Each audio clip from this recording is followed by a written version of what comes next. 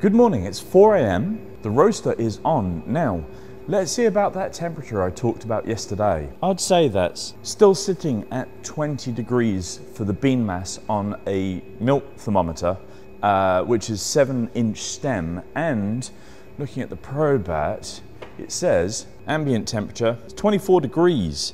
Uh, it's too early for me to actually deduce what's going on. I'll come back to this later on. Excuse the look, after 54 batches and 12 hours of roaster on time, my brain is somewhat fried. Now, to the temperature.